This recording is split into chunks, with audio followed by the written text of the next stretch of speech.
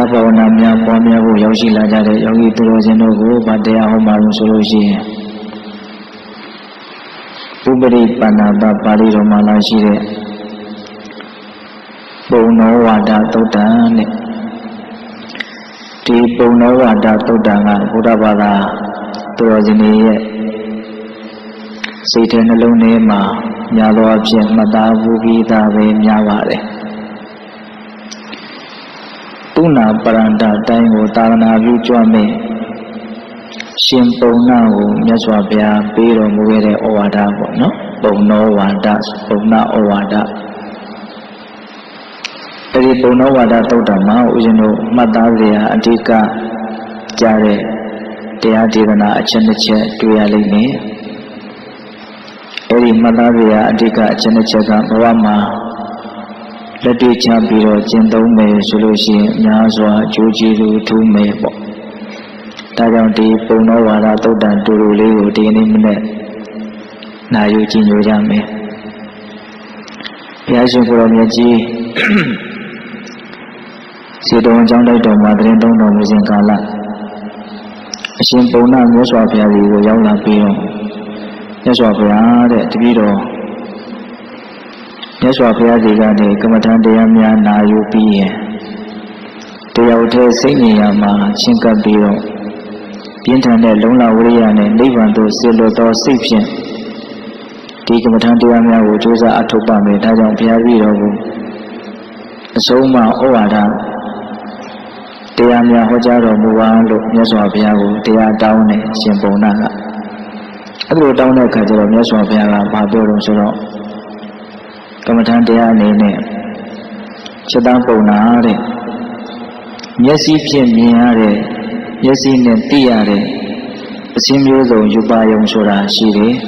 ။အဲ့ဒီယူပါယုံတွေရဲ့ပုံမှာသင်ဟာဆွဲမဲ့မယ်တက်မဲ့မယ်နှစ်သက်မယ်မြင်နိုးမယ်ဆိုတဲ့ဒီနန္ဒီဆိုတဲ့သဘောတရားတက်မဲ့ခြင်းပေါ့ဒီကိုကောက်ရင်တော့လောဘပေါ့နော်။အဲ့ဒီတရားတက်တန်တာမှာဖြစ်မယ်ဆိုလို့ရှိရင် အဲ့ဒါဒုက္ခဖြစ်ခြင်းပဲတဲ့နန္ဒီသမှုရိယဒုက္ခသမှုရိယောလို့အဲ့ဒီမှာဟောဒီစကလုံးလေးကဒါမှတ်သားစရာစကလုံးပါပဲနန္ဒီသမှုရိယဒုက္ခသမှုရိယောတဲ့နန္ဒီသမှုရိယနှစ်သက်မှုဖြစ်ပြီးတက်မဲ့မှုဖြစ်ပြီးဆိုရင်ဒုက္ခသမှုရိယောအဲ့ဒါဆင်းရဲဒုက္ခဖြစ်တော့တာပဲတဲ့တကယ်လို့မျက်စိနဲ့မြင်ရတဲ့မျက်စိနဲ့သိရတဲ့ ဒီယူပါယုံလေးရဲ့ပုံမှာနှစ်သက်မှုဆွဲလန်းမှုမျက်လုံးမှုမရှိဘူးဆိုရင်တော့နန္ဒီနိရောဓဒုက္ခနိရောဓတဲ့ဆွဲမမှုမရှိတဲ့အတွက်ကြောင့်အဲ့ဒါဒုက္ခချုပ်ခြင်းပဲတဲ့ဒါကယူပါယုံနဲ့ပတ်သက်ပြီးတော့မြတ်စွာဘုရားဟောတာပေါ့နော်နောက်ဦးဇင်းတို့ပြတ်ပေါင်းတော်အောင်လို့ဒီလောက်ပြောလိုက်ရင်ရှေ့ဆက်ပြီးတော့တရားကိုနှလုံးသွင်းနိုင်မယ်ထင်ပါတယ်အဲ့ဒါပါလဲဆိုတော့နားနဲ့သိရတယ်နော်နားနဲ့နားထောင်ရတယ် အတန်မျိုးစုံရဲ့အပေါ်မှာဆွေးလန်းမှုနှစ်သက်မှုမျက်နှာမှုရှိမယ်ဆိုရင်သူလည်းပဲနန္ဒီသမှုရိယဒုက္ခသမှုရိယဆွဲမဲ့ခြင်းဖြစ်တဲ့အတွက်ကြောင့်အဲ့ဒါဒုက္ခဖြစ်တော့တာပဲအဲ့ဒီအတန်မျိုးစုံရဲ့အပေါ်မှာဆွဲမဲ့မှုဖြစ်အောင်မဖြစ်အောင်ကြိုးစားအထောက်နိုင်မယ်ဆိုလို့ရှိရင်နန္ဒီနိရောဓဒုက္ခနိရောဓဆွဲမဲ့မှုမရှိတဲ့အတွက်ကြောင့်ဆွဲမဲ့မှုချုပ်တဲ့အတွက်ကြောင့်ထိုလောဘကြောင့်ဖြစ်ပေါ်လာမဲ့ဒုက္ခတွေလည်းပဲချုပ်ငြိမ်းသွားတယ်ပေါ့ ဒါကြောင့်ဒုက္ခဘာကြောင့်ဖြစ်သလဲဒုက္ခဘာကြောင့်ချုပ်သလဲဆိုတဲ့ဒုက္ခဖြစ်ခြင်းရဲ့အကြောင်းတရားဒုက္ခချုပ်ခြင်းရဲ့အကြောင်းတရားကိုဒီမှာမတွေ့ရဘူးလားတွေ့ရတယ်နော်နန္ဒီဆိုတဲ့ဆွဲမဲ့မှုဖြစ်ရင်ဒုက္ခဖြစ်တယ်နန္ဒီဆိုတဲ့ဆွဲမဲ့မှုချုပ်ရင်တော့ဒုက္ခချုပ်တယ်အဲ့ဒါလိုမြတ်စွာဘုရားကရှုပါယုံနဲ့ပတ်သက်ပြီးတော့တတ္တယုံနဲ့ပတ်သက်ပြီးတော့နောက်နှာခေါင်းဖြင့်သိရတဲ့ အမျိုးမျိုးသောအနံ့လို့ဆိုရမယ်ကန္နာယုံနောက်လျာနဲ့သိရတဲ့အမျိုးမျိုးသောအရာလားလို့ဆိုရတဲ့ရတ္တယုံနောက်ဒီခန္ဓာကိုယ်နဲ့တွေ့ထိပြီးတော့သိရတဲ့အမျိုးမျိုးသောအတွေ့အထိလို့ဆိုရတဲ့ဖုဒ္ဓဘာယုံနောက်ဦးဇင်းတို့စိတ်နဲ့တွေးပြီးတော့သိရတဲ့ဓမ္မာယုံအာယုံဘယ်နှပါတော့6ပါးအဲ့ဒီအာယုံ6ပါးရဲ့ပုံမှာစွမ်းမမှုဆိုတဲ့နန္ဒီဖြစ်ပြီဆိုလို့ရှိရင်အဲ့ဒါဒုက္ခဖြစ်တာပဲတဲ့ အဲ့ဒီအာယုံ6ပါးရဲ့ပုံမှာဆွဲမဲ့မှုဆိုတဲ့နံလေးကိုချုပ်ငင်းအောင်လုပ်နိုင်မယ်ဆိုရင်အဲ့ဒါဒုက္ခချုပ်တာပဲတဲ့ဟိုတချို့တရားလေးတွေကတူတူလေးနဲ့အလွန်တရာအရေးပါတယ်လို့မဆိုနိုင်ဘူးလားဒီတော့ပြပပသူတော်နဲ့မှတ်ရမှာကနန္ဒီသမှုတွေဟာဒုက္ခသမှုတွေရောဆွေးမမှုဖြစ်ရင်ဒုက္ခဖြစ်တယ်နန္ဒီនិရောဓဒုက္ခនិရောဓ ဆွေးမမှုချုပ်လို့ရှိရင်ဒုက္ခချုပ်တယ်တဲ့ဒါရှင်ပုံနာကိုမြတ်စွာဘုရားအချင်းချုပ်ခေါ်တဲ့တရားပေါ့နော်ဒီချက်နဲ့ပတ်သက်ပြီးတော့ဦးဇင်းတို့ကပိတတော်ရဲ့စိတ်ထဲမှာဥပြီးတော့ရှင်းလင်းသွားစေဖို့ဒီပြင်ဒေသနာတစ်ခုကနေပြီးတော့ဆက်ဆက်မှုရှိတဲ့အကြောင်းအရာလေးတစ်ခုကိုဖြည့်ဆွတ်ပြီးတော့ပြောခြင်းနေတယ်ပေါ့အဲ့ဒါကဘာလဲဆိုတော့ဦးဇင်းတို့ခန္ဓာဝကတန်ရုပ်ပါဠိတော်မှာဒီဝဒဟတုတ်တံဆိုတာရှိတယ် ခါရဘာမှာယဟန်တွေကနိုင်ငံရခြားတိုင်းတစ်ပါးကိုသာသနာပြုကြွမယ်ဆိုပြီးတော့မြတ်စွာဘုရားကိုလာရောက်ပြီးတော့နှုတ်ဆက်ကြတယ်ကာရဝပြုကြတယ်အဲ့လိုမြတ်စွာဘုရားကိုလာရောက်ပြီးတော့နှုတ်ဆက်ကာရဝပြုတဲ့အခါမှာမြတ်စွာဘုရားကจิตသားတို့သင်တို့သွားကနေမှသင်တို့ရဲ့နောင်တော်ကြီးဖြစ်တဲ့ရှင်သာရိပုတ္တရာကိုတွေ့ပြီးတော့သွားကြအောင်ရှင်သာရိပုတ္တရာကြီးကိုဝင်ပြီးတော့သွားကြအောင်လို့ မြတ်စွာဘုရားကဟိုတိတော်မူမြင်တော်မူတဲ့အတွက်ကြောင့်အဲ့ဒီယဟန်တွေကိုရှင်သာရိပုတ္တရာကိုရောမြတ်ကြီးစီကိုလှတ်တယ်ရောက်တဲ့အခါကျတော့ရှင်သာရိပုတ္တရာကိုရောမြတ်ကြီးကအဲ့ဒီယဟန်တွေကိုနော်တရားစကားပြောတယ်ပေါ့ဘာပြောလို့ဆိုတော့ငါရှင်တို့တဲ့နိုင်ငံရခြားတိုင်းတစ်ပါးမှာပညာရှိလို့အမိခံထားတဲ့ဟောသမဏပြမနာတွေရှိတယ်မင်းနေပုံနာတွေရှိတယ် အဲ့ဒီပညာရှိလို့အမိခံထားတဲ့သမဏပြမနာမင်းပုံနာတွေကတကယ်လို့သင်တို့နဲ့တွေ့တဲ့အခါမှာ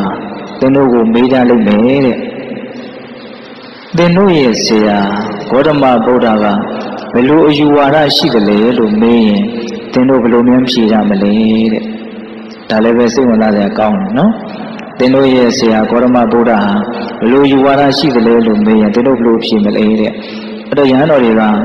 ရှင်ဘုရားဒီအကြောင်းအရာတွေကိုပဲသိဖို့အတွက်ရှင်ဘုရားစီကိုအဝေးကြီးကနေဒီလိုလာခဲ့ကြရတာဒါကြောင့်အရှင်ဘုရားပဲဟောပြပါဆိုတော့ရှင်သာရိပုတ္တရာကအဲ့ဒီယဟန်တွေကိုဟောပြတယ်ပေါ့တကယ်လို့နိုင်ငံရခြားတိုင်းတစ်ပါးမှာပညာရှိအမိခံတဲ့ပုဂ္ဂိုလ်တွေကသူတို့ရဲ့ဆရာမြတ်စွာဘုရားဟာဘယ်လိုယူဝါဒရှိသလဲလို့မေးခဲ့မယ်ဆိုရင်တူတူတုတ်တုတ်နဲ့ထိထိမိမိခြုံမိငုံမိအောင်ဖြေဖို့အတွက်လိုအပ်တဲ့ဟိုအဖြေကပါလဲဆိုတော့ ငါတို့ရဲ့ဆရာမြတ်စွာဘုရားသည်သန္နရာဂဝိနည်းခာယီအဲ့ဒီထဲမှာတော့အဲ့လိုလေးပြောထားတယ်လိုခြင်းမမောမှုဖေရှားရေးကိုဟောပြတယ်အယူဝါဒရှိတယ်တဲ့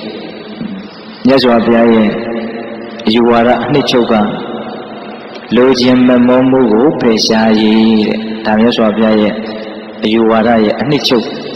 ဟုတ်လားလိုခြင်းမမောမှုကိုဖေရှားရေးဝါဒ သန္နာရာဂဝိနည်းခာယီ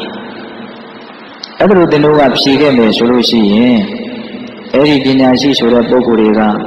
ဒီတိုင်းနေမှာမဟုတ်ဘူးတဲ့သင်တို့ကိုဆက်ပြီးတော့မေးရလိမ့်မယ်အဲ့ဒါဘလို့မေးနိုင်လဲဆိုတော့နေပါဦးသင်တို့ရဲ့ဆရာဂေါရမဗုဒ္ဓကလူချင်းမမုန်းမှုကိုဖေရှားရေးအယူဝါဒရှိတယ်ဆိုလို့ရှိရင် ဘယ်တရားတွေရဲ့ပုံမှာဖြစ်ပေါ်လာမယ့်လူချင်းမမုန်းမှုကိုဖေရှားရမှာတုံးလို့တဆင့်တက်ပြီးတော့မြင်မြင်ရလိမ့်မယ်တဲ့ဟုတ်လားအဲ့လိုမေးတဲ့အခါမှာသင်တို့ကခန္ဓာ၅ပါးရဲ့ပုံမှာလူချင်းမမုန်းမှုဆိုတဲ့လောဘကိုဖေရှားရမယ်လို့ဟောတယ်လို့သင်တို့အလိုဖြေပါတဲ့ဒါဥစဉ်ကအနှစ်ချုပ်ပြီးတော့ပြောလိုက်တာပါနောက်တစ်ခါမှတော့ဥစဉ်တို့ရုပ်အစုဝေးလို့ဆိုတဲ့ယူဘက်ခန္ဓာရှိမနေဘူးလားရှိရင်နော် ခံစားမှုအမျိုးမျိုးရဲ့အစုဝေးလို့ဆိုရမယ်ဝေဒနာခန္ဓာမှတ်သားမှုမျိုးမျိုးရဲ့အစုအဝေးလို့ဆိုရမယ်သင်္ညေခန္ဓာပြုလုပ်မှုရှိစောမှုအမျိုးမျိုးရဲ့အစုအဝေးလို့ဆိုရမယ်သင်္ခါရခန္ဓာသိမှုဝိညာဉ်တို့ရဲ့အစုအဝေးလို့ဆိုရမယ်ဝိညာဉ်နဲ့ခန္ဓာနော်အစုအဝေးကြီးအစုပုံကြီး၅ခု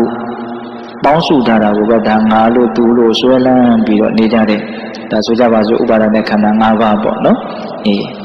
ဒီခန္ဓာ၅ပါးရဲ့ပုံမှာလူချင်းမမောဆွဲလန်းတဲ့သဘောကိုပယ်ခွာရမယ်လို့သင်တို့အဲ့လိုပြန်ဖြေပါတဲ့နှစ်ချက်ရှိပြီနော်အဲ့ဒီလိုဖြေတဲ့အခါမှာအဲ့ဒီပညာရှိဆိုတဲ့ပုဂ္ဂိုလ်တွေကဆက်ပြီးတော့မေးကြလိုက်ဦးမယ်တဲ့မေးနိုင်စရာအကြောင်းရှိတယ်အဲ့ဒါကဘာလဲဆိုတော့ဘယ်လိုအပြစ်တွေကိုမြင်လို့လူချင်းမမောမှုဆိုတဲ့အဲ့ဒီဆန္ဒရာကတဏှာလောဘကိုဖေခွာဖို့သင်တို့ဆရာမြတ်စွာဘုရားက ဟောရတာလဲလို့သူတို့ကဆက်ပြီးတော့မေးလာကြအကြောင်းရှိတယ်တဲ့လူချင်းမမောမှုမလို့ရဘူးမလို့ရဘူးလို့ပြောတဲ့နေရာမှာလူချင်းမမောမှုမှာဘာအပြစ်တင်မြန်ရှိလို့လူချင်းမမောမှုကိုပယ်ခွာဖို့အတွက်ဟောရတာတုံးလို့မေးလာကြအကြောင်းရှိတယ်တဲ့အဲ့လိုဆိုလို့ရှိရင်လူချင်းမမောမှုရဲ့အပြစ်ကိုဘယ်သူမှမငြင်းနိုင်တဲ့တိတာမြင်တာတဲ့ အဖြစ်တည်းရှင်သာရိပုတ္တရာကိုရမေကြီးရဲ့သူညံစွန်းနဲ့ထုတ်ပြတယ်လို့ဆိုကြပါစို့နော်အဲ့ဒါဘာလို့ဆိုတော့လူချင်းမမုန်းမှုမကင်းတဲ့ပုဂ္ဂိုလ်ဟာဆွဲလန်းတက်မဲ့မှုမကင်းတဲ့ပုဂ္ဂိုလ်ဟာသူဆွဲလန်းထားတဲ့သူတက်မဲ့ထားတဲ့သူလိုချင်ထားတဲ့သူရချင်ထားတဲ့ဆိုလိုကပြောခဲ့တဲ့ခန္ဓာ၅ပါးပေါ့နော် ဒီခန္ဓာ၅ပါးတစ်မျိုးတစ်မျိုးဖောက်ပြန်ပြီးပြောင်းလဲပြီးဆိုတာနဲ့အဲ့ဒီပုဂ္ဂိုလ်ဟာတောကပိတေဝဒုက္ခဒေါမနတဥပယာတဆိုတဲ့မလိုလားအပ်တဲ့ဆင်းရဲဒုက္ခတွေသူ့ရဲ့တဏ္ဍာမှာဖြစ်လာလိမ့်မယ်တဲ့အဲ့ဒါလိုချင်မဲ့မုန်းမှုရဲ့အပြစ်ပဲတဲ့တဲ့တဲ့ပြောရရင်လိုချင်နေရင်ကိုလိုချင်နေတဲ့အရာလေးတစ်မျိုးတစ်မျိုးဖြစ်တာနဲ့လိုချင်နေတဲ့ပုဂ္ဂိုလ်ဒုက္ခဖြစ်တော့တာပဲဒါဘယ်လိုညင်းနိုင်တော့ရညင်းနိုင်မလို့ ကိုလိုချင်ထားတာမရှိဘူးတက်မဲ့ထားတာမရှိဘူးမမောထားတာမရှိဘူးဆိုရင်သူ့သူအဲ့ဒါတွေဘလောက်ပဲပြည့်စည်ပြည့်စည်ဘလောက်ပဲဖောက်ပြန်ဖောက်ပြန်ဟုတ်လားသူသဘောသူဆောင်းနေတာပဲတကယ်တမ်းကတော့အဲ့ဒီတဘာဝတရားတွေနော်အဲ့ဒီလိုဖောက်ပြန်တဲ့သဘောပြည့်စည်တဲ့သဘောဆိုတာဘယ်ရာကမှတားလို့မရဘူးဒါကသူ့ရဲ့သဘာဝပဲသို့တော့ကိုကဖောက်ပြန်မဲ့အရာကြီးကိုဖောက်ပြန်နေတဲ့အရာကြီးကိုကိုကဆွဲမမိတဲ့အခါကျတော့ဒီဖောက်ပြန်မှုကပဲဒီဆွဲမဲ့နေတဲ့ပုဂ္ဂိုလ်ကို နှိမ့်ဆက်တယ်လို့မဖြစ်ဘူးလားအင်းဒါကတော့ဦးဇင်းတို့ဖောက်ပြန်မှုကတမျိုးတမီဖြစ်မှုကနှိမ့်ဆက်တယ်လို့ဆိုတာကအပေါ်ယံမှာတကယ်တကယ်ကတော့ဆွဲလန်းမှုကနှိမ့်ဆက်တာပါကိုယ်ကဆွဲလန်းမှုမမောမှုမရှိဘူးဆိုရင်သူ့သူဘလို့ပဲဖောက်ပြန်နေနေစိတ်ဆင်းရဲစရာကိုယ်ဆင်းရဲစရာအကြောင်းရှိသလားမရှိဘူးအဲ့ဒါကိုကဆွဲမဲ့မိလို့သာလည်းအဲ့ဒါတွေဖောက်ပြန်တဲ့အခါမှာကိုယ်မှာနှလုံးစိတ်ဝမ်းဆင်းရဲကြရတာ ဒါကြောင့်ပိဋကပေါင်းတော်တို့ဒီအချက်ကအလွန်တရာမှသိတာထင်ရှားတဲ့အချက်လို့ဆိုနိုင်ပါတယ်နော်ကလောကကြီးမှာပြည့်စည်နေကြတာပဲလေနေစဉ်နဲ့အမျှနေရာအသီးသီးမှာပြည့်စည်နေကြတာပဲအဲ့ဒီပြည့်စည်နေတာတွေကိုမိမိတို့ကဆွဲလန်းမှုလည်းမရှိမမောမှုလည်းမရှိတော့အဲ့ဒါတွေဘလောက်ပဲပြည့်စည်ပြည့်စည်ကိုယ်မှာတုံလို့ချောက်ချတဲ့သဘောစိတ်ဆင်းရဲကိုယ်ဆင်းရဲဖြစ်ရတဲ့သဘောရှိသလားမရှိဘူးဒါတရင်နေတဲ့မှာလည်းကြားနေရတာပဲတယောက်စကားတယောက်နားလည်းကြားနေရတာပဲ ဒီပျက်စီးမှုတွေဟုတ်လားသို့တော့အဲ့ဒါတွေကကိုယ်စိတ်ထဲမှာဆွလန်းမမောထားတဲ့အရာတွေမဟုတ်တဲ့အတွက်ကြောင့်သူ့သူဘလောက်ပဲပျက်စီးပျက်စီးစိတ်ထဲမှာဆင်းရဲတယ်ဆိုတာမရှိဘူးကိုယ်ဆွလန်းထားတဲ့မမောထားတဲ့ဆိုရင်တော့အဲ့ဒါသေးသေးလေးပင်ဖြစ်တော်လည်းပဲအကြီးအကျယ်ကိုကိုနှိမ့်ဆက်နိုင်လိမ့်မယ်ဗျာဟုတ်တယ်မို့လားဒါကြောင့်တကယ်တကယ်စိတ်ဆင်းရဲကိုယ်ဆင်းရဲဖြစ်ရတယ်ဆိုတာဘာကြောင့်လုံးလို့အဖြေရှာကြည့်ရင်ဒီဆွဲလန်းမမောမှုဆိုတာကိုတွက်ပြီးတော့တွေ့ရတယ်ပေါ့ ဒါကြောင့်ဘယ်အပြစ်ကိုမြင်လို့ဒီဆွဲလန်းမမောမှုကိုပယ်ခွာခိုင်းတာလဲလို့မေးရင်ကိုဆွဲလန်းထားတဲ့အရာကြီးပြည့်စည်တဲ့အခါမှာဆွဲလန်းမမောမှုမကင်းသောပုဂ္ဂိုလ်ဒီတေချာပေါင်းစိုးရင်ကိုရွှေငိုကြွေးခြင်းစိတ်ဆင်းရဲကိုဆင်းရဲဖြစ်ခြင်းပြင်းစွာပင်ပန်းခြင်းဆိုတာတွေဖြစ်လာလိမ့်မယ်ဒီအပြစ်ကိုမြင်လို့မှုဆွဲလန်းမမောမှုကိုပယ်ခွာရမယ်လို့မြတ်စွာဘုရားဟောတာလို့ဖြေပါတဲ့နောက်ဆက်ပြီးတော့သူတို့ကမေးရလိမ့်မယ်တဲ့ဘယ်လိုအကျိုးကိုမြင်လို့ ဆွဲလန်းမမောမှုကိုပယ်ခွာခိုင်းတာတော့ဆွဲလန်းမမောမှုမရှိအောင်လုပ်လိုက်မယ်ဆိုလို့ရှိရင်ဘလို့အကျိုးကျေးဇူးတွေဖြစ်ပေါ်လာနိုင်တော့လို့မေးတာပါပဲအဲ့လိုဆိုရင်သင်တို့ဖြေရလိမ့်မယ်တဲ့ဆွဲလန်းမမောမှုကင်းတဲ့ပုဂ္ဂိုလ်လူချင်းတတ်မှတ်မှုမရှိတဲ့ပုဂ္ဂိုလ်ဟာအဲ့ဒီအရာတွေဘလို့ပဲပြည့်စည်ပြည့်စည်သွားသွားဘလို့ပဲပေါက်ပြန်ပြောင်းလဲသွားသွား သူ့မှာစိုးရင်ပြန်ကိုကြွေးเสียစိတ်ဆင်းရဲကိုဆင်းရဲဖြစ်เสียပြင်းစွာပင်ပန်းเสียအကြောင်းမရှိဘူးတဲ့အင်မတန်ချမ်းသာဝင်ရတယ်တတ်တာဝင်ရတယ်ဒါကြောင့်မြတ်စွာဘုရားကဆွဲလန်းပံ့ပိုးမှုကိုဖယ်ခွာဖို့ဟောတာဟုတ်လားဆွဲလန်းပံ့ပိုးမှုဖယ်နိုင်ရင်ဒုက္ခငြိမ်းခြင်းအကျိုးကျေးဇူးရှိတယ်ဒါကြောင့်ပိဋကပေါင်းတော်ကောင်းတို့မြတ်စွာဘုရားရဲ့အယူဝါဒအနှစ်ချုပ်ဟာဘာလဲလို့မေးရင်နော်ဆွဲလန်းပံ့ပိုးမှုကိုဖယ်ခွာရေးဖြစ်ပါတယ် အခုလည်းပဲဦးဇင်းတို့ရှင်ပုံနာကိုမြတ်စွာဘုရားဟောနေတာနော်အာယုံ6ပါးရဲ့ပုံမှာဆွဲလန်းပမမှုဖြစ်ရင်တော့အဲ့ဒါဒုက္ခဖြစ်တာပဲအာယုံ6ပါးရဲ့ပုံမှာဆွဲလန်းပမမှုချိုးအောင်လုံးနိုင်မယ်ဆိုရင်တော့အဲ့ဒါဒုက္ခချိုးလိမ့်မယ်တဲ့နန္ဒီသမှုရိယဒုက္ခသမှုရိယနောက်ဆွဲလန်းပမမှုဖြစ်ခြင်းဒီဒုက္ခဖြစ်ခြင်းပဲ နန္ဒီនិရောဓဒုက္ခនិရောဓဆွလန်းမမောမှုချုပ်ခြင်းသည်ဒုက္ခချုပ်ခြင်းပဲကဲဘယ်လောက်ရှင်းလို့နော်အေးအဲ့ဒါလိုမြတ်စွာဘုရားကအတူချုပ်ကလေးရှင်ပုံနာကိုတရားဟောတယ်ပေါ့အဲ့လိုဟောတဲ့အခါကျတော့ရှင်ပုံနာကအလွန်ဝမ်းမြောက်ဝမ်းသာဖြစ်တယ်ဒါသူ့အတွက်လုပ်ငန်းစဉ်ရသွားတာပေါ့နော်ဒီတော့ဒကာမတို့ဦးဇင်းတို့လည်းပဲ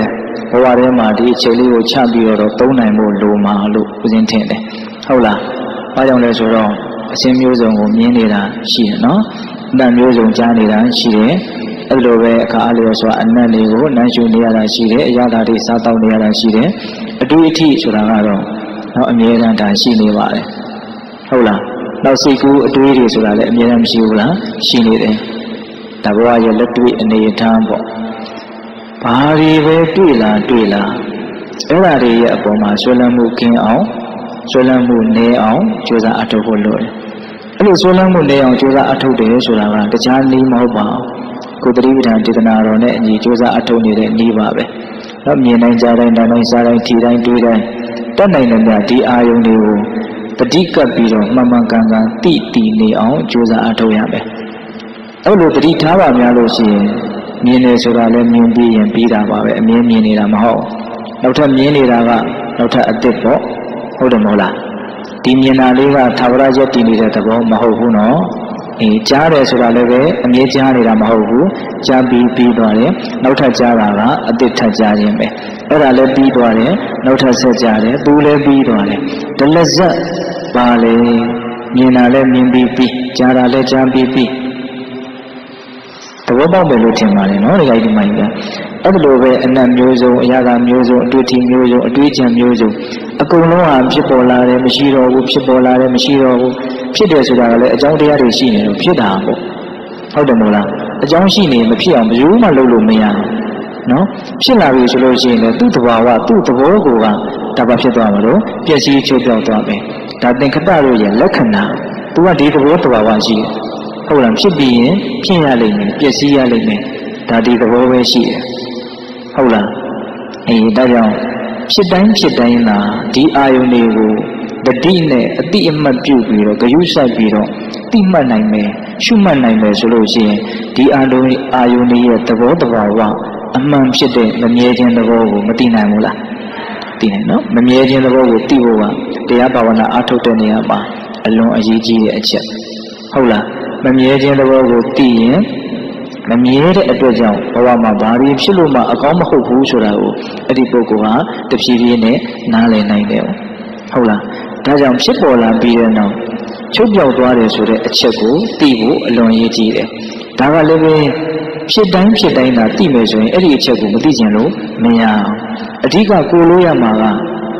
ဖြစ်နေတာကိုသိလိုက်ဖို့ပဲဟုတ်လား အဲ့ဒါကိုခဏခဏသိအောင်ကြိုးစားကြာရင်တော့သူသဘောပေါက်သွားဟုတ်လားဖြစ်လာတဲ့တရားဟာမရှိတော့ဘူးကုံဆုံးသွားပြီဒါနောက်ထပ်ဖြစ်တာအဲ့ဒါလည်းမရှိတော့ဘူးနောက်ထပ်ဆက်ဖြစ်တယ်ဟောအဲ့လိုမျိုးဒလဇက်ဖြစ်တယ်ဒလဇက်အဲ့ဒီဖြစ်တိုင်းသောအရာတွေဟာကုံပြောက်သွားတယ်ဒီအချက်ကိုဟောသဘောပေါက်ဖို့ဆိုတာကဖြစ်တိုင်းဖြစ်တိုင်းသိနေဖို့သာလိုအပ်တယ်ဒါကြောင့်မြတ်စွာဘုရားကသတိပဋ္ဌာန်ပုဒ်ထဲမှာ ဘာပဲဖြစ်ဖြစ်ပဇာနာတိအဲ့ဒါကိုသိလိုက်ပါသိအောင်လုပ်ပါအဲ့လိုဟောထားတာဟုတ်လားဖြစ်တိုင်းသိလို့ရှိရင်ဟောအပိုင်းကြတော့ဘာတွေသိမလို့ဆိုတော့ဖြစ်ခြင်းကိုလည်းသိမယ်ပြည့်ခြင်းကိုလည်းသိမယ်နော်ဖြစ်ခြင်းပြည့်ခြင်းဆိုတာကိုသိလာပြီဆိုလို့ရှိရင်ဒါရကဓမ္မတို့အရင်တို့အလွန်တန်ဖိုးရှိတဲ့အတိညာကိုရတယ်လို့မဆိုနိုင်ဘူးလားဆိုနိုင်တယ်။ဒါကြောင့်လို့ဆိုတော့ဒုက္ခကိုဆက်ပြီးတော့တည်သွားတဲ့အကြောင်းရှိတယ်။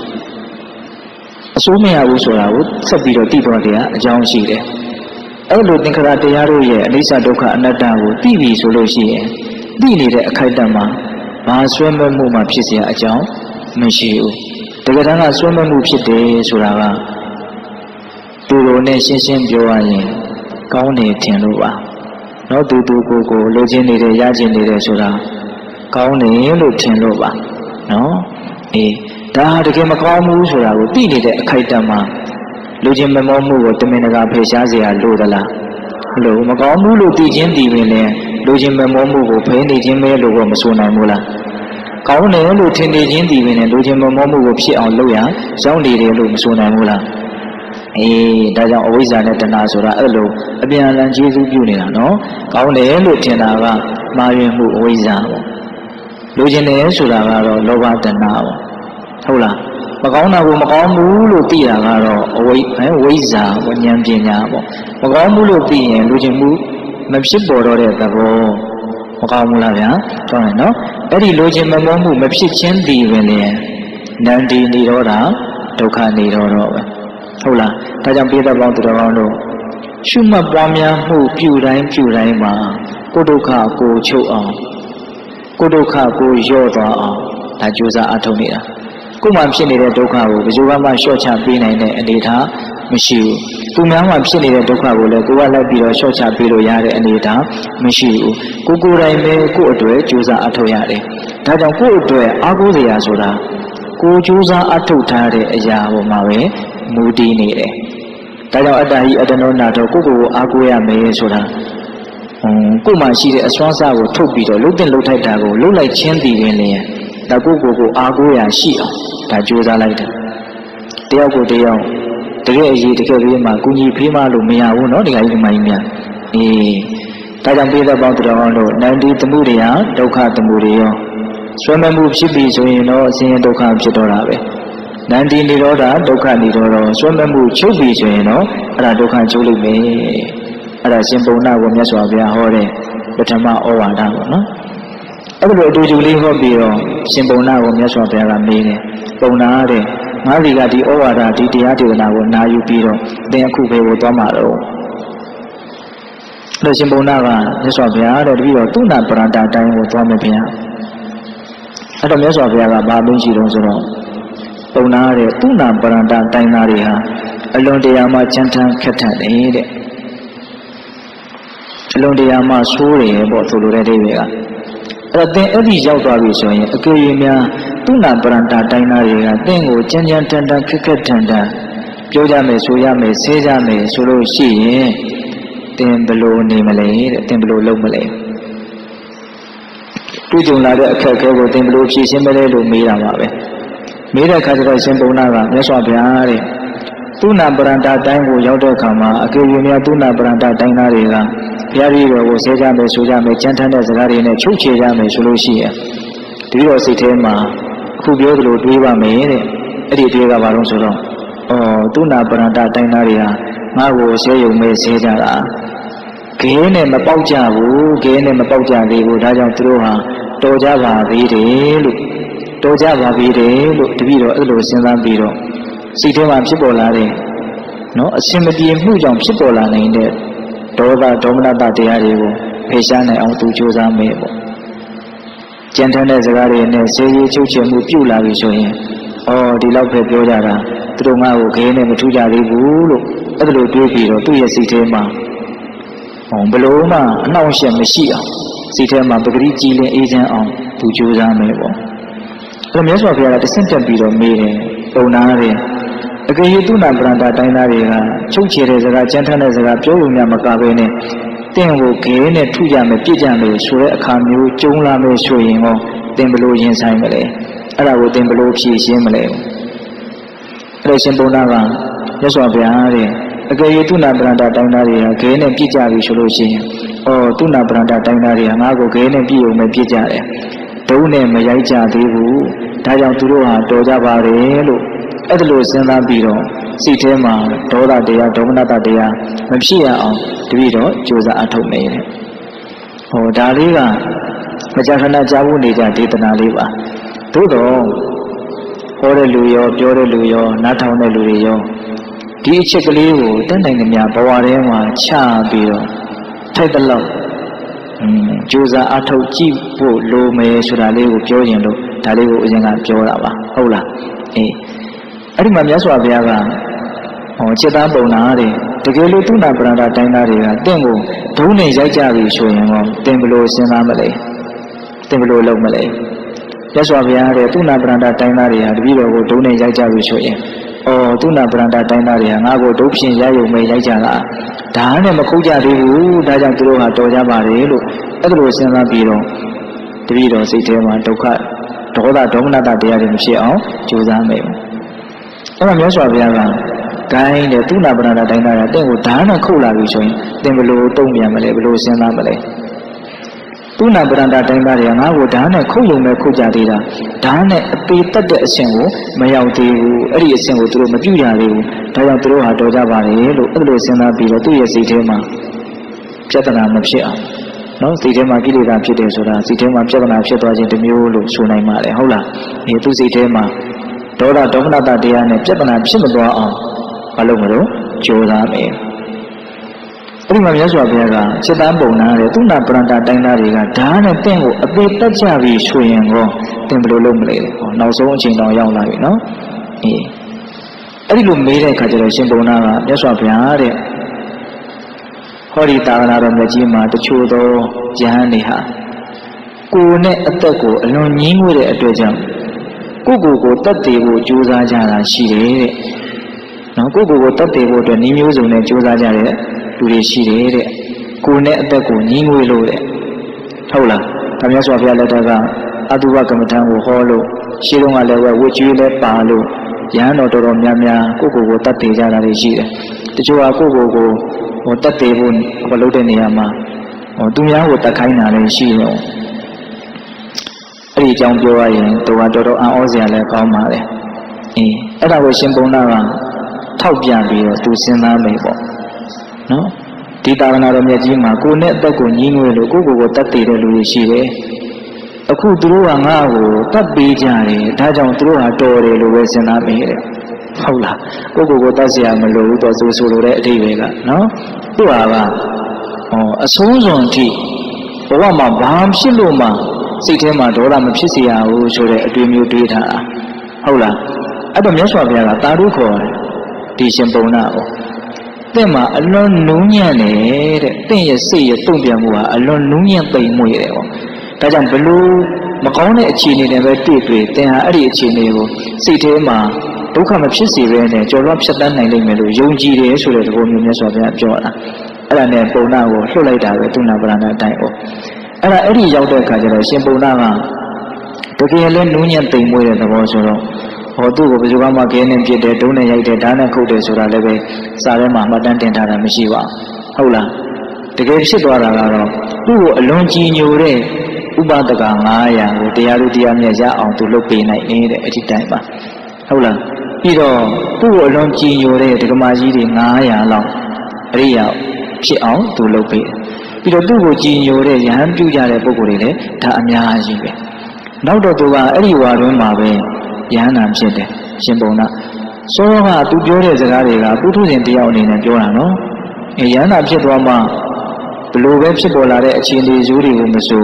ကျော်လွှားနိုင်ဖို့ဆိုတာကဒါဘာခက်ခဲမှမရှိဘူးပုထုဇဉ်တယောက်အနေနဲ့အခက်ခဲဆိုတာအရင်မကြည့်ဘူးလားကြည့်တယ်အေးအဲ့ဒါအဲ့ဒီဝါတွင်းမှာပဲသူယဟန်နာဖြစ်တယ်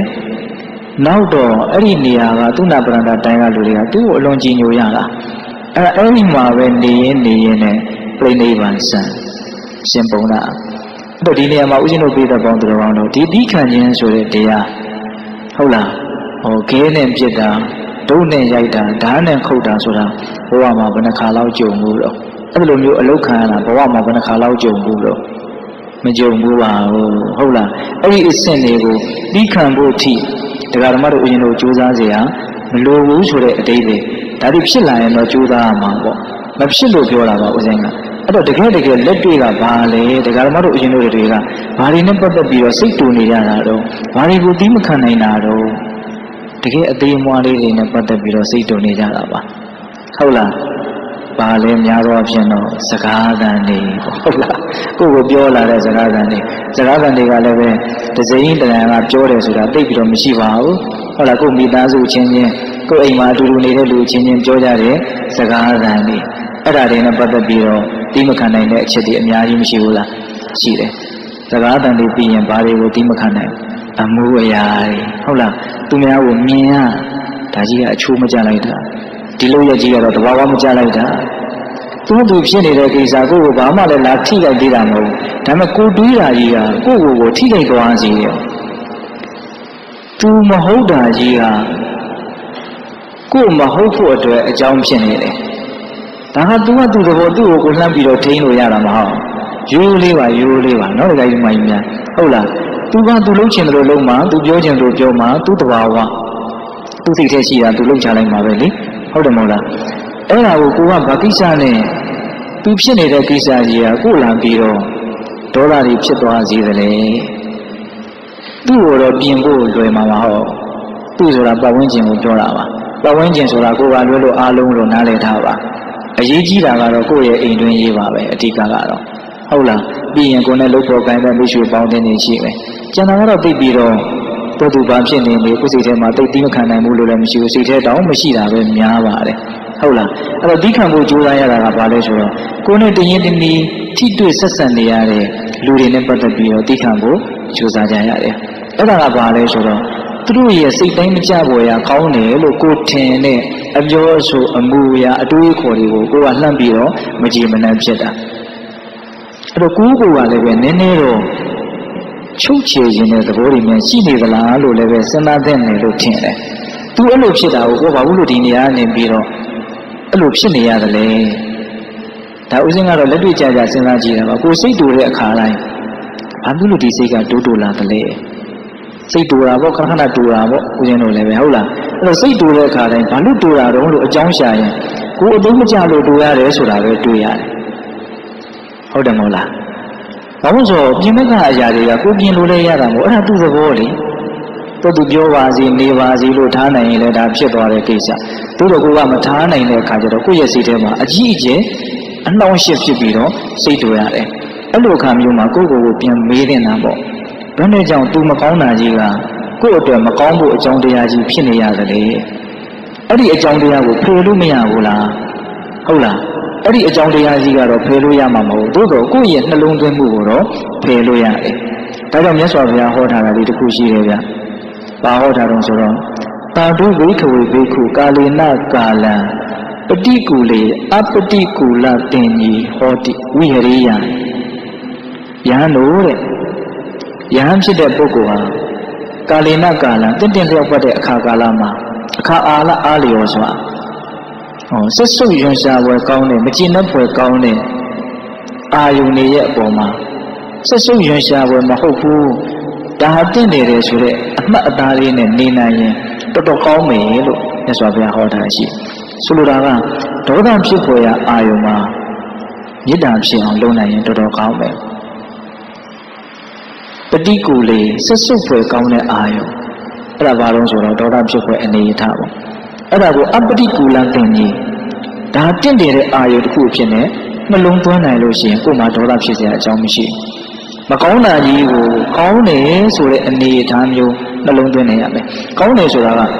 အဲ့ဒါကြီးကကောင်းတယ်လို့ဆိုလိုတာမဟုတ်ဘူးဦးဇင်းတို့ဒီနေရာမှာစိတ်တူစရာဖြစ်လာပြီဆိုလို့ရှိရင်အဲ့ဒီအာယုံကိုမမြဲဘူးဆိုတဲ့အနေစအနေနဲ့နှလုံးသွင်းနိုင်ရင်အဲ့ဒါဒေါသဖြစ်စရာအကြောင်းမရှိဘူး အဲ့ဒီအာယုံကကိုယ့်ရဲ့စိတ်ထဲမှာဆက်စုပ်ွယ်အာယုံမဟုတ်တော့ဘူးဆိုတဲ့သဘောမျိုးဖြစ်သွားပြီးတော့ဒီရာကတက်ရှိဆိုလို့ရှိရင်မေတ္တာသဘောပေါ့နော်မေတ္တာကိုအားကြီးမယ်ဆိုလို့ရှိရင်လည်းဒေါသဖြစ်စရာသူ့ရဲ့မကျေနပ်ဖွယ်အာယုံကြီးကကိုယ့်ကိုဒေါသဖြစ်အောင်လုပ်နိုင်မှာမဟုတ်အဲ့တော့ကိုကတက်ရှိဆိုလို့ရှိရင်လည်းမေတ္တာဖြစ်အောင်ကြိုးစားရမယ်တမဲ့ကြောင့်အနေထားမျိုးမျိုးကြောင့်စိတ်တူစရာဖြစ်ရတယ်ဆိုရင်လည်းအဲ့ဒါကိုအနေဆသို့မဟုတ် ဒါတတဘာဝလို့အဲ့လိုမျိုးစဉ်းစားဆင်ခြင်ပေးဖို့လိုရင်ပေါ့အဲ့တော့ပြောချင်တာကဘဝမှာသီးခံခြင်းတရားဆိုတာအလွန်တရာမှလိုအပ်တယ်များသောအားဖြင့်တရားဓမ္မတို့ဦးဇင်းတို့စိတ်ဆင်းရဲရတယ်ဆိုတာကဒီဒေါသတရားတွေကြောင့်ပါဒေါသဆိုတာကတက်ကြွတဲ့ဒေါသရှိတယ်တမဲပြတ်မဲရိုက်မဲနဲ့မဲပြောမဲဆိုမဲဆိုပြီးတော့ဟုံဟုံတက်တဲ့ဒေါသရှိသလို နောက်ပူရွှေးတယ်စိုးရိမ်တယ်ငိုကြွေးတယ်ဆိုပြီးတော့ဝမ်းနေတယ်ဆိုပြီးတော့နော်စုပ်နေတဲ့ဒေါသလည်းရှိတယ်ဘယ်ဒေါသဖြစ်ဖြစ်မေတ္တာအားနဲ့ရင်ဖြစ်မယ်ဟုတ်လားဒါကြောင့်ဒီနေရာမှာတိခံခြင်းတရားနဲ့လည်းပဲကိုယ့်ရဲ့တဏ္ဍာမှာဒေါသနေအောင်ကြိုးစားအထောက်ဖို့လိုတယ်ပေါ့။ဒါရှင်ပုံနာပြောထားတဲ့တိခံနိုင်တဲ့အည်အသွေးတွေကတော့အဲ့ဒီလောက်ထိဘဝမှာတရားဓမ္မတို့ဦးဇင်းတို့တွေ မလိုပါဘူးဟုတ်လားသို့တော်လည်းပဲရှိရင်တော့မကောင်းဘူးလားကောင်းတာပေါ့ဖြစ်လာလို့ရှိရင်တော့အဲ့ဒီလိုတွေးနိုင်ရင်တော့ကောင်းတာပေါ့ဒါပေမဲ့တကယ်တကယ်ကတော့အဲ့လောက်ကြီးထိတရားဓမ္မတို့ဦးဇင်းတို့တွေကပြီးခံဖို့အတွက်ခက်ခဲမှုမရှိပါဘူးဟုတ်တယ်မို့လားများသောအားဖြင့်ပါတော့သူများပြောတဲ့စကားသံတွေဟုတ်လားသူများရဲ့အမူအရာတွေကိုယ့်အကိုနေမယ်ဆိုရင်တတလေးနေလို့ရပါလက်ကန်နဲ့အလွန်အလွန်ကိုညံ့ပြင်းလို့ဒေါသဖြစ်ကြလာတာမဆိုနိုင်ဘူးလား ဆိုရင်တော့သူသူနေပေါ့ဖြစ်အောင်လုပ်မယ်ဆိုရင်မဖြစ်ဘူးလားဖြစ်တယ်ဒီနောက်ပြီးတော့ဦးဇင်းတို့နောက်ထပ်သိခံရရှိတာကဒီခန္ဓာကိုယ်ကဖြစ်ပေါ်လာမဲ့အနေအထားမျိုးမျိုးဒါကတော့သိမခံလို့မရဘူးဒါကတော့ဘယ်သူမှလည်းအပြစ်တင်လို့လည်းမရဘူးကိုယ့်ကိုနားလည်မှုအပြည့်အဝနဲ့သိခံနိုင်အောင်ကြိုးစားကြရပါအဲ့တော့ဒီနေရာမှာဦးဇင်းတို့ဖြည့်ဆွတ်ပြီးတော့ပြောရင်တော့အခုဒီလိုတရားဘာဝနာလုပ်ကိုကြိုးစားအထောက်တယ်ဆိုတာဒီသီးခံမှုဆိုတဲ့အရေးအသွေးကိုတိုးတက်လာအောင်လုပ်ရလဲရောက်တယ် ဟုတ်လားဆိုတော့ကဆွမ်းမဲ့မှုဆိုတဲ့ဒုက္ခရဲ့အကြောင်းတရားကိုဖေရှားရရောက်တယ်လို့အပြေလေရာတွေနဲ့တွေ့လာတဲ့အခါအသိခံနိုင်နေရဆိုတဲ့စိတ်မတူဘဲနဲ့ပုံမှန်အနေအထားနဲ့နေနိုင်နေဆိုတဲ့အရေးအသွေးမျိုးကိုလည်းပဲမြင့်တင်ရရောက်မယ်တရားဘာဝနာလုပ်အားထုတ်တယ်ဆိုတာစဉ်းစားကြည့်ပါဘလို့အာယုံမဖြစ်ဖြစ်ဖြစ်ပေါ်လာပြီးတဲ့နောက်မရှိတော့ဘူးဆိုတဲ့အချက်ကိုလားရှင်းရှင်းလင်းလင်းတကယ်သိပြီးတော့အဲ့ဒီအတိကိုတကယ်များအောင်ပွားနိုင်မယ်ဆိုလို့ရှိရင် ဘယ်လိုအရာကမှစိတ်ကိုအကြီးအကျယ်တုံ့လောက်ချောက်ချအောင်ဒေါသဖြစ်အောင်လုပ်မှာမဟုတ်ဟုတ်လားစဉ်းစားကြည့်နော်တကယ်တမ်းကဒေါသဖြစ်တယ်ဆိုတာပြင်ဘက်ကအာယုန်တွေအကြောင်းဆိုတာထက်မိမိရဲ့နှလုံးသွင်းပေါ့ကိုဘလို့စဉ်းစားလိုက်တယ်လေကိုဘလို့တွေးလိုက်တယ်လေဆိုတာပေါ်မှာအဓိကမူတည်ဘူးလားမူတည်ရနော်အဲ့တော့ကိုကဒါကိုမမြင်ဘူးလို့မြင်ထားရင်ကိုယ့်ရဲ့စိတ်ထဲမှာအမြင်ကအလွန်မြင့်မြတ်နေတယ်လို့မဆိုနိုင်ဘူးလား အလွန်လဲတဘာဝကျနေတယ်လို့မဆိုနိုင်ဘူးလားဆိုနိုင်နော်အဲ့တော့မြင်တဲ့ပုဂ္ဂိုလ်ဟာမမြဲခြင်းကိုမြင်တဲ့ပုဂ္ဂိုလ်ဟာမမြင်တဲ့အနေအထားနဲ့တော့သူဘယ်လိုမှတူမှာမဟုတ်ဟုတ်လားမြင်ခြင်းဒီမမြင်ခြင်းနဲ့တော့ဘယ်လိုမှမတူနိုင်ဘူးတုံ့ပြန်ပုံချင်းမတူနိုင်ဘူးနော်တယောက်နဲ့တယောက်လည်းမတူနိုင်ဘူးကတယောက်နဲ့တယောက်မတူဘူးဆိုတာလေတယောက်တည်းကိုပဲမြင်တဲ့အခိုက်အတန့်နဲ့မမြင်တဲ့အခိုက်အတန့်နဲ့တူနိုင်မှာမလား နောက်တစ်ခါလေးဘဝမှာကိုကမိမိရောရောပေါ်ပေါ်ဆဆနေပြီးတော့ဖြစ်တယ်လို့ပဲနေတဲ့အခါမျိုးမှာဟောအသေးအမွားစိတ်တူတွေကလေးကလည်းပဲအကြီးအကျယ်ကိုကိုစိတ်တူတွေအဖြစ်နဲ့နှိမ့်ဆက်နိုင်တယ်ပေါ့ကိုကတကယ်လို့တတိကလေးနဲ့မေတ္တာလေးနဲ့အေးအေးချမ်းချမ်းနေတယ်ကြီးကြီးလေးလေးနေမယ်ဆိုတဲ့အခါမျိုးမှာဆိုရင်တော့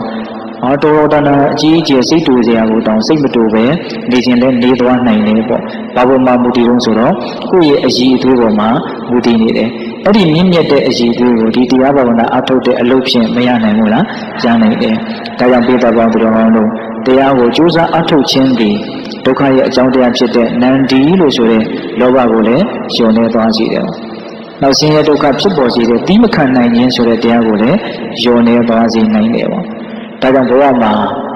ဒီလောဘတက္ကာယနေဖို့ဆိုတာရဲ့တီးခံနိုင်ဖို့ဆိုတာရဲ့အလွန်မှအရေးပါတဲ့တရားလို့အရင်ထင်ပါတယ်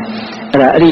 အလွန်အရေးကြီးတဲ့အချက်နှစ်ချက်ကိုဒီပုံတော်ဘာသာတုတ်တန်ထဲမှာမတွေ့ရဘူးလားတွေ့ရတယ်နော်ဒါမျိုးလေးတွေကိုသိတဲ့ပေါင်းသူတော်ကောင်းတို့ကောက်ချက်ဆွဲပြီးတော့စိတ်ထဲမှာစဉ်းစားတတ်ဖို့လိုမယ်ဘဝထဲမှာလက်တွေ့ချပြီးတော့သုံးဖို့ဆိုတာဒါကိုရည်ရွယ်ပြီးတော့ပြောတာပါဟုတ်ရဲ့လားအေးအဲ့တော့ဦးဇင်းတို့ဒီတရားမှာ ဒီပုံတော်ဝါဒသုတ်တံမှာအဓိကမှတ်ရမယ့်အချက်တစ်ချက်ပါတော့နှစ်ချက်ပါတယ်နော်နန္ဒီသမှုရိယဒုက္ခသမှုရိယောနန္ဒီនិရောဓဒုက္ခនិရောဓဆွဲမမှုဖြစ်ရင်ဒုက္ခဖြစ်တယ်ဆွဲမမှုချုပ်ရင်ဒုက္ခချုပ်တယ်ဒါကတစ်ပိုင်းဟုတ်လားပြီးတော့ဘလို့အနေထားဆိုးတွေပဲတွေ့တွေ့ကိုယ်ကတင့်တင့်လျောက်ပါအောင်လျောက်ကအောင်ယောနိတော်မရတိကာရလက်ကင်ထားပြီးတော့ဒါကိုသီးခံနိုင်ဖို့ ကြိုးစားရမယ်ဒီမခံနိုင်လို့လည်းပဲအဲ့ဒါကြီးကဘာမှအကြောင်းထူလာတာတော့မဟုတ်ဘူးနော်ကိုယ်မှသာရင်ဒေါသတွေနဲ့အကုသိုလ်ဖြစ်ရတာပဲအဖတ်တင်ဟုတ်လားဒါကြောင့်သီးခံနိုင်တဲ့အရှိအသွေးကိုလည်းမြင်မအောင်ကြိုးစားကြရမယ်အေးအဲ့ဒီအချက်နှစ်ချက်လုံးကိုသတိပဋ္ဌာန်ဘာဝနာကိုပွားများခြင်းအပြင်တိုးတက်အောင်လုပ်ရရောက်တယ်လို့မဆိုနိုင်ဘူးလားဆိုနိုင်နော်လောဘကိုလျှော့ချတဲ့အပိုင်းမှာလည်းတိုးတက်မှုရှိလာနိုင်တယ်ဒီမခံနိုင်ခြင်းဆိုတဲ့ ဒီဒေါသတရားတွေကိုလျှော့ချတဲ့နေရာမှာလည်းပဲအများကြီးတိုးတက်မှုရှိနိုင်တယ်ဒါကြောင့်ဒေတာပေါင်းသူတော်ကောင်းတို့ဒီသတိပဋ္ဌာန်ဘာဝနာလုပ်ကိုကြိုးစားအားထုတ်ပြီးတော့နော်ဆွေးမဲ့မှုဒေါသတရားမကြည်နပ်မှုဒေါသတရားတိမခံနိုင်မှုဒေါသတရားတွေကိုလျှော့ချနိုင်ကြတဲ့နောက်ဆုံးချုပ်ငြိမ်းအောင်လုပ်နိုင်ကြတဲ့သူတော်ကောင်းတွေဖြစ်ကြပါစေလို့ဦးဇင်းတို့ဆန္ဒပြုပြီးတော့ပြုလို့အားထုတ်အပ်သောဒါနသီလတမာတိပညာကုသိုလ်ကောင်းမှုအစုတို့ရဲ့အစွမ်းတတ္တိကြောင့် မဉ္ဇဉ်ပူညာမျက်နှိပ်ပါကိုလင်မြန်ထုတ်ချောင်းမျက်မှောက်ပြုရစေကုန်သောဟုပတနာအောင်စုပြုကြကုန်ရာတည်း